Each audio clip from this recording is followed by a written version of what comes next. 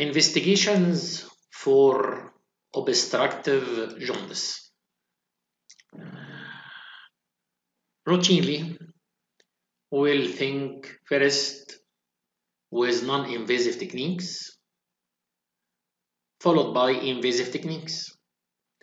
The least invasive is laboratory investigation. The first thing you will, the first thing you will think uh, in any jaundice patient is serum bilirubin. The normal serum bilirubin is less than 1 milligram per meat per 100 milliliter. jaundice appear clinically on the patient if conjugated bilirubin rise 2, 2 to 3 milligram per meat per 100 milliliter. Also, jaundice appear if unconjugated bilirubin rise 2, 3 to 4 milligram per 100 milliliter. Between 1 milligram and 2 or 3 milligram of bilirubin, this called subclinical jaundice. Normal, the bilirubin level less than 1 milligram. If rise conjugated or unconjugated bilirubin above 2 or 3 milligram, this clinically manifested jaundice. In between these two levels, between 1 to 2 or 3, this uh, a subclinical laboratory jaundice. Jaundice discovered by laboratory investigation by serum bilirubin not appear clinically. In obstructive jaundice, the conjugated bilirubin fails to descend to the intestine and regurgitate to the serum. Therefore, in obstructive jaundice, mainly the conjugated bilirubin is elevated. While in hemolytic anemia, in hemolytic jaundice and hemolytic anemia, there is, there is excessive destruction of red blood cells with passage of excessive unconjugated bilirubin to the blood. Therefore, in hemolytic jaundice, unconjugated bilirubin is mainly elevated. In hepatocellular jaundice, both conjugated and unconjugated bilirubin elevated are elevated. Why? In hepatocellular jaundice, the unconjugated bilirubin reach the hepatocytes, and the hepatocytes are not functioning. There is dysfunction of the hepatocyte, and they can't conjugate the unconjugated bilirubin. Therefore, the unconjugated bilirubin to reach to the liver and cannot be conjugated. Therefore, the unconjugated bilirubin remain in the blood and its level is elevated. In the same time, due to edema in the intrahepatic biliary passage, due to inflammation and hepatitis, due to inflammation of uh, intrahepatic biliary ducts, the biliary ducts inside the liver are obstructed. Therefore, any conjugated bilirubin won't descend to the intestine fails and they regurgitate to the blood stream, leading to elevation of conjugated bilirubin also. Therefore, in obstructive jaundice, mainly the conjugated bilirubin rise. In hemolytic jaundice, unconjugated bilirubin rise and elevated in the serum. While in hepatocellular, both types of bilirubin are elevated in the serum. Liver function test and liver enzymes are very, very important. Why? In obstructive jaundice, alkaline phosphatase, gamma glutamyl transferase, and the 5 nucleotidase are maximally and minimally elevated. This elevation of enzyme is characteristic for obstructive jaundice. Alkaline phosphatase, gamma glutamyl transferase, and the 5 nucleotidase. While in hepatocellular jaundice, the pattern of elevation of enzyme is different. The elevation mainly in SGOT, SGPT are maximally and mainly elevated. The elevation of other enzymes in obstructive jaundice is minimally elevated. Therefore, you all enzymes are elevated in any jaundice, but mainly if alkaline phosphatase, gamma glutamyl transferase, 5 nucleotidase are elevated, this is obstructive. If main elevation in SGOT and SGPT, this is hepatocellular. Serum bilirubin also affected in advanced cases of jaundice due to liver dysfunction in advanced cases and the beginning of cirrhosis, etc. Prothrombin time and the concentration are very, very important. Sure, in uh, obstructive jaundice, due to failure of absorption of vitamin K from the intestine, due to absence of bile salts in the intestine, this leading to hypoprothrombemia and prothrombin time prolonged. In hepatocellular jaundice, the liver cells are tired, liver dysfunction, and although there is absorption of vitamin K, but the liver cells cannot form prothrombin. The liver cells are tired, dysfunction of liver cells. Therefore, the prothrombin time and the concentration are affected in both obstructive and hepatocellular. How to differentiate? Give a course of intravenous vitamin K for few days. If prothrombin time and the concentration improve, this is obstructive jaundice. If doesn't improve, this is hepatocellular jaundice. Why? If you give me intravenous vitamin K and prothrombin time and the concentration improve. The problem here in absorption of vitamin K in the intestine.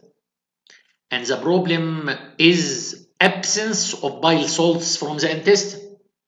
And this is feature of obstructive jaundice. While if you give the patient vitamin K for few days and the prothrombin time and the concentration doesn't improve, this indicate the problem is senses is impaired.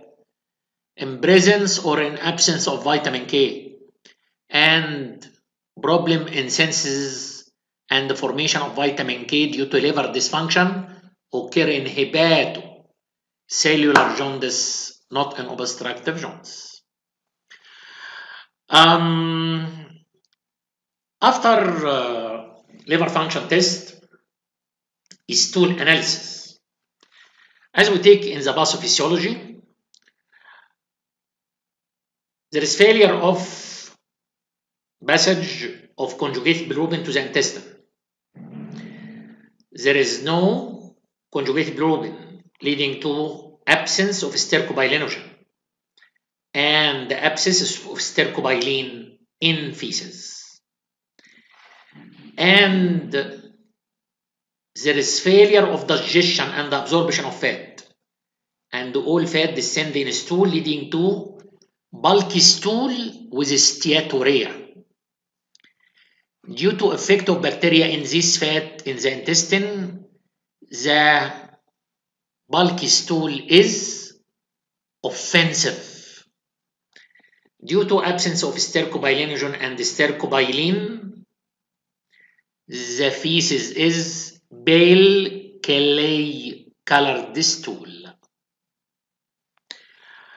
Um, no stercobilinogen in the intestine. This is reflected on the urine analysis. In urine analysis, you know urobilinogen and you know urobilin. And uh, in urine analysis, there is excessive conjugated bilirubin and the bile salts in urine because the conjugated bilirubin and the bile salts which fails to pass to the intestine due to obstruction regurgitate to the blood flow and excreted by, by kidney in urine with excessive conjugated bilirubin and bile salts. And the bile salts in urine leading to frothy urine. In addition to serum bilirubin, liver function test, prothrombin time and concentration, and stool and urine analysis, blood, blood culture, if there is any evidence of cholangitis or endotoxic shock, blood culture and sensitivity. In cholangitis also, in blood picture, there is leukocytosis. After laboratory investigation, radiological investigation. Sure, as we know, the most important and the first investigation done for any biliary disease is abdominal ultrasound. The abdominal ultrasound is perfect in calcular obstructive jaundice.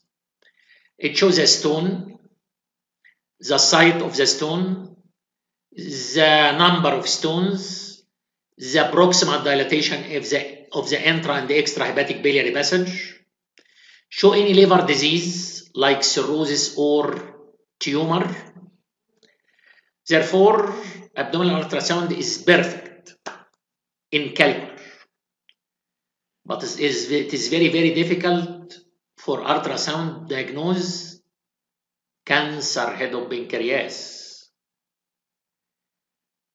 How to diagnose cancer head of pancreas? The best, if you suspect malignant obstructive jaundice, to do abdominal CT scan. Abdominal CT scan show the site of the tumor, the size of the tumor, locally spread to the surrounding structure, showing lymph node metastases, showing liver metastases, showing the extent of the tumor and the extent of obstruction in the biliary passage. The extent of obstruction means obstruction is 2 millimeter, 5 millimeter, 3 centimeter, the extent of biliary obstruction. Uh, therefore, CT scan is uh, done for suspected malignant obstructive jaundice. Then MRCP. What is this is uh, abbreviation? Magnetic resonance cholangiopancreatography. Cholangio means biliary passage. All intrahepatic ducts. Intra and the extrahepatic ducts. The intrahepatic duct and the extrahepatic duct means the biliary passage from the start to the end. Cholangio means all biliary passage.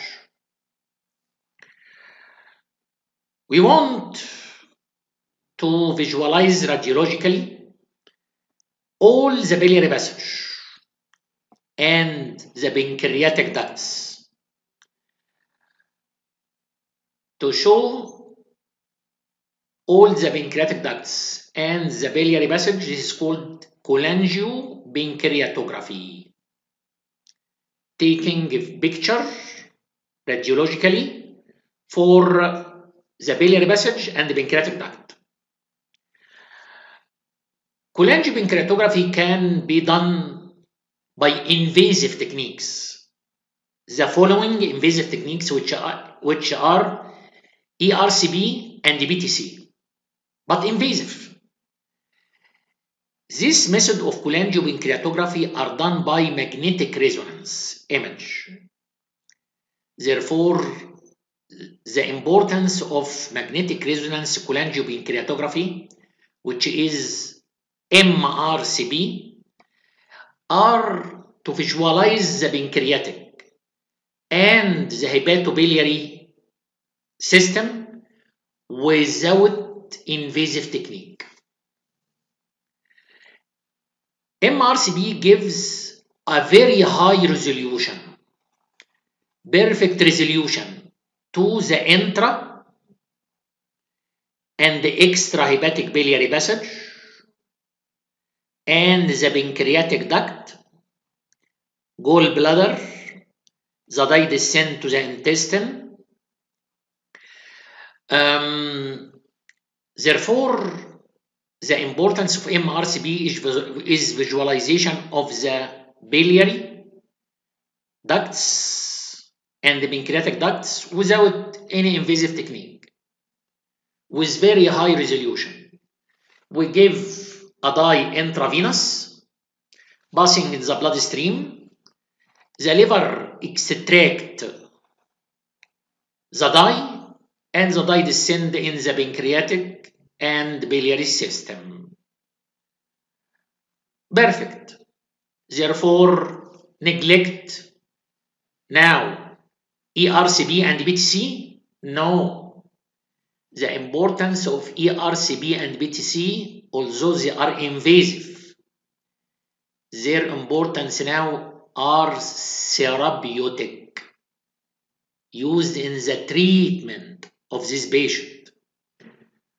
But diagnostic value for ERCP and PTC are replaced now by MRCP, magnetic resonance cholangiopancreatography.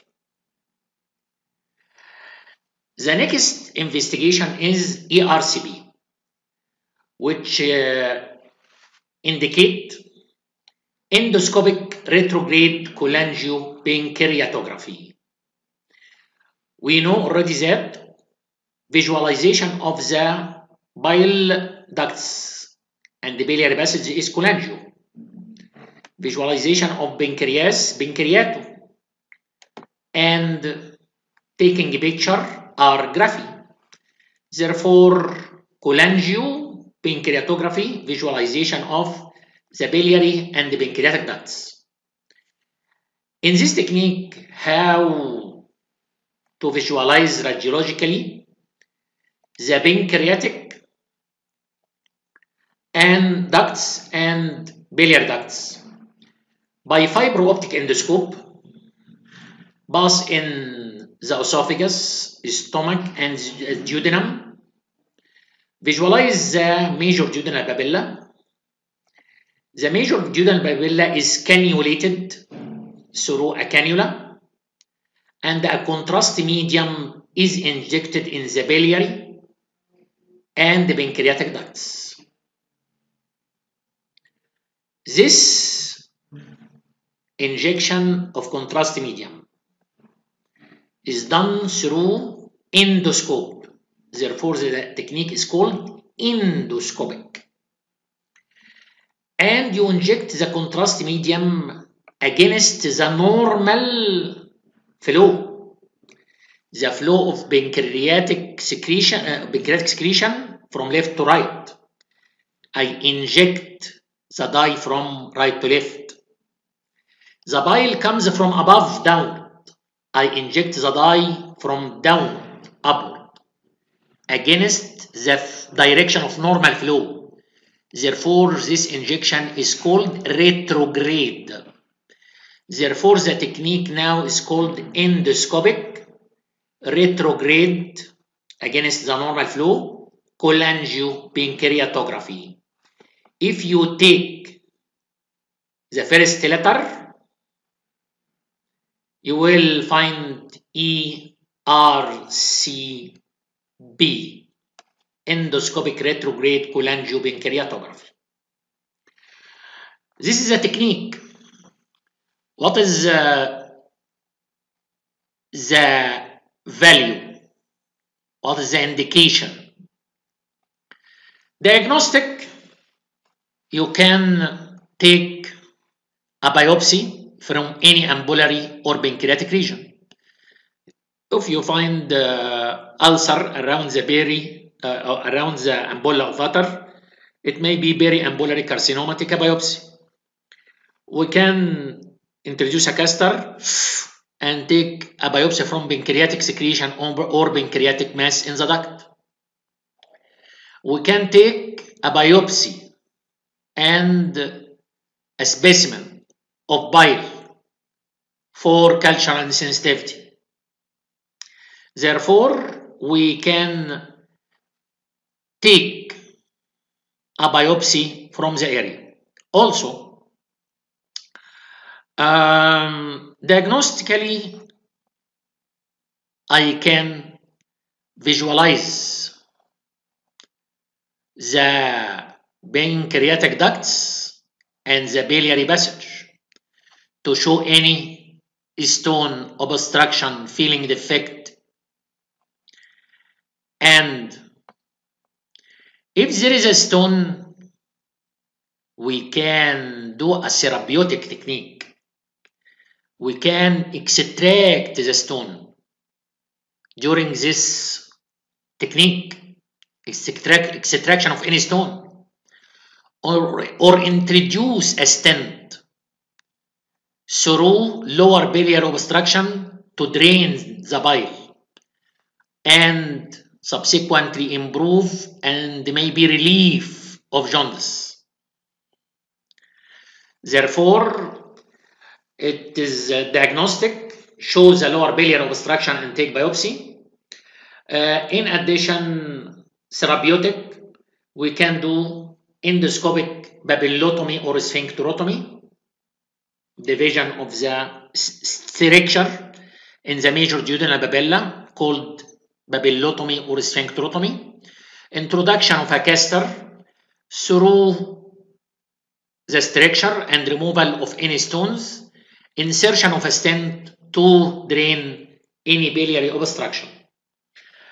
Um, this is very, very important in drainage of uh, bile and the pancreatic secretions in cholangitis and the pancreatitis.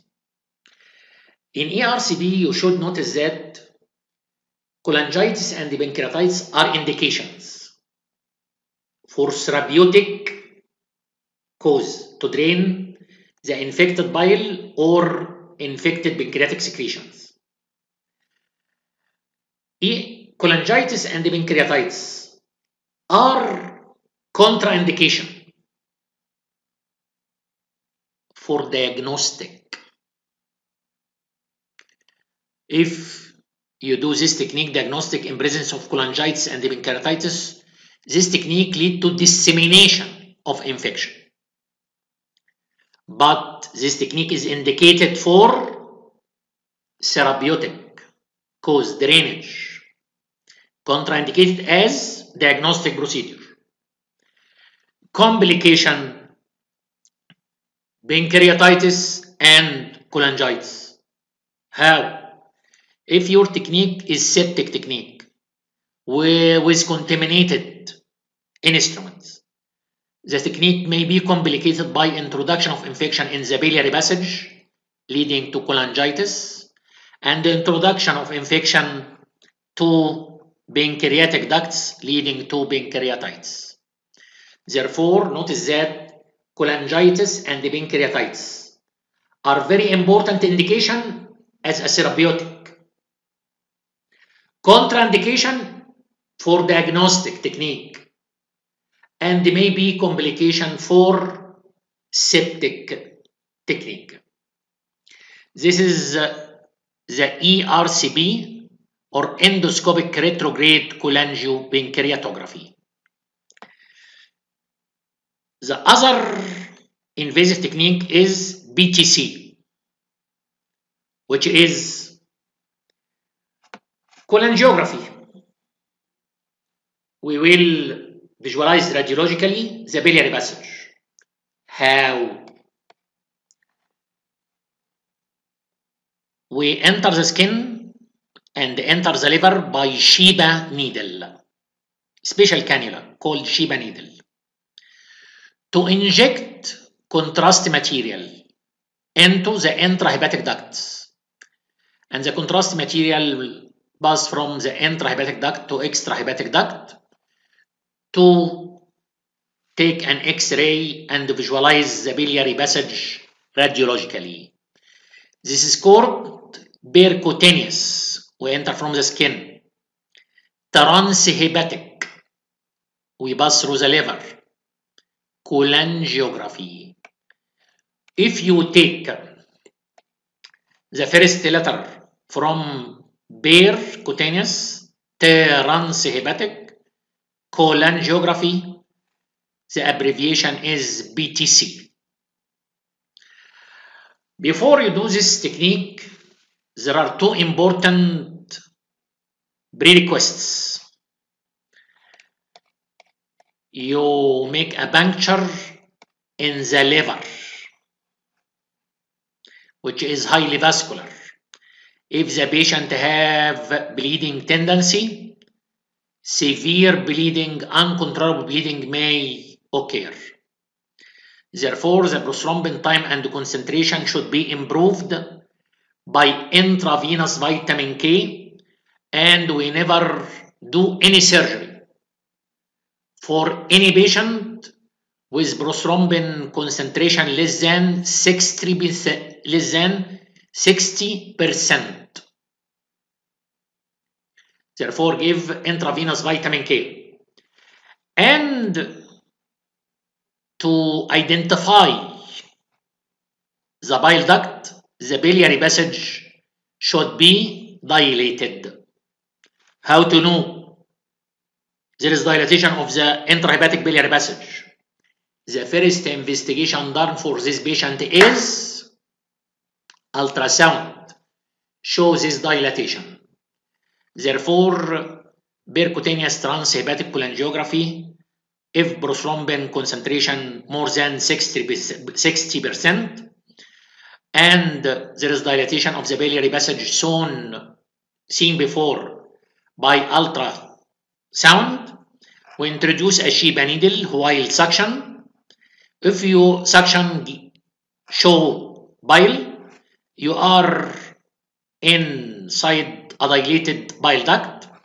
Inject the contrast medium and take X-ray to show the dilated biliary passage and to show high this uh, X-ray, this is a technique, is very important to show high biliary obstruction.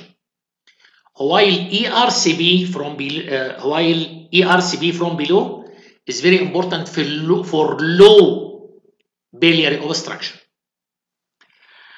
Um, under local the technique of the details of this technique under local anesthesia in the right eighth intercostal space a Chiba needle is inserted while suction to aspirate bile. This indicates that the tip of the needle inside a dilated bile duct. Inject contrast and take X-ray to visualize the biliary ducts radiologically. Indication diagnostic for high biliary obstruction. And this is not important because it can be seen in MRCP.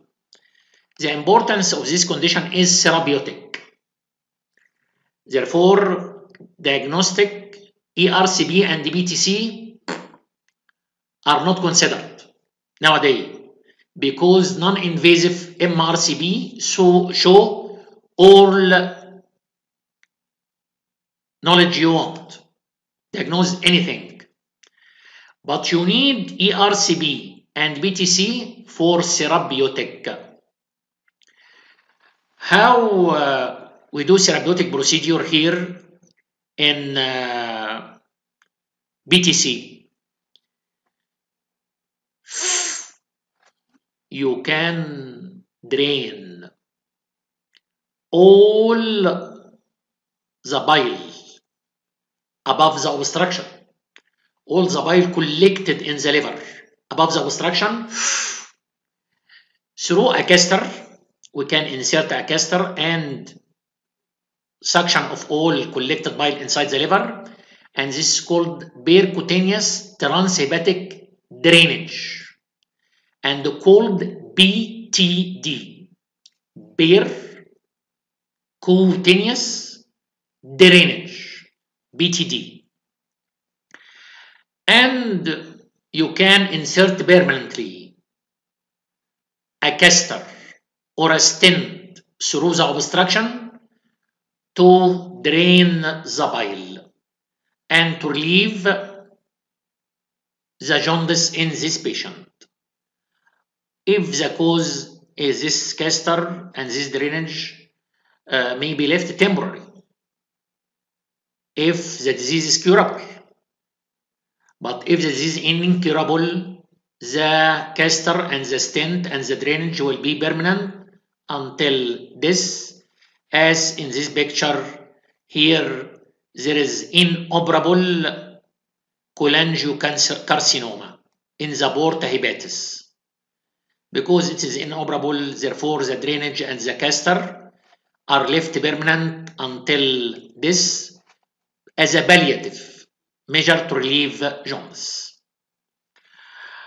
What is the complication of uh, percutaneous transhepatic biliary drainage? Bleeding. This is your fault if you not consider to correct the bleeding defect before this technique. And the puncture in the liver, the collected bile inside the liver may drop from this puncture into the peritoneal cavity, leading to biliary peritonitis. Therefore, this technique should be combined with drainage of the biliary passage. If you do this only diagnostic, inject a dye and take X-ray picture and you withdraw the needle. The bile inside the biliary, inside the intrahepatic duct and are under, are under tension. Are under tension and the bile will track along this opening, pass through opening to the biliary, through the biliary tract to the peritoneal cavity leading to biliary peritonitis. Finally, and rarely done nowadays, in the past, barium meal may be of value. This is a normal barium meal showing the normal duodenum. The duodenum normally in barium meal show C-shaped duodenum with one vertebra in, in the middle of the C. This is the C and there is one vertebra, L2 vertebra with half vertebra above and half vertebra below. Therefore, the normal width of the C-shaped duodenum is one vertebra L2 with half vertebra above and half vertebra below. If you do barium meal and will find we will find wide C-shaped duodenum and its width is four vertebrae This means swelling inside the C-shaped duodenum. Anatomically, what is inside the C-shaped duodenum? The head of pancreas. And there is swelling in the head of pancreas. Swelling in the head of pancreas means cancer head of pancreas. Or we will find, we may find filling defect above and below the ampulla of Vater of periampullary carcinoma. And this gives the C-shaped duodenum an inverted serine appearance. Inverted serine appearance. Or in Arabic رقم أربعة أو الأبيض هو أربعة بتاعنا وبقى أربعة عشان filling defect above and below gives this inverted 3 appearance or in Arabic arba. This is the investigation uh, for uh, obstructive jaundice, laboratory, radiological and instrumental investigations.